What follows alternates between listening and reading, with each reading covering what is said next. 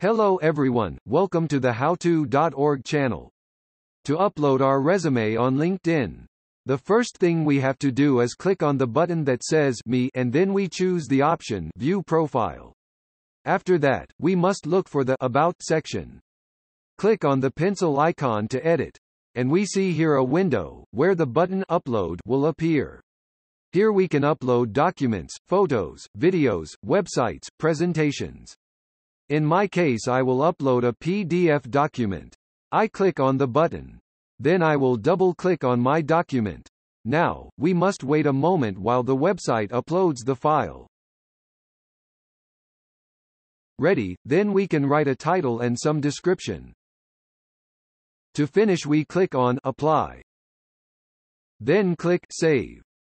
When someone enters our profile, in the About section, he will be able to see our resume. If you click here, then you must click View to see it.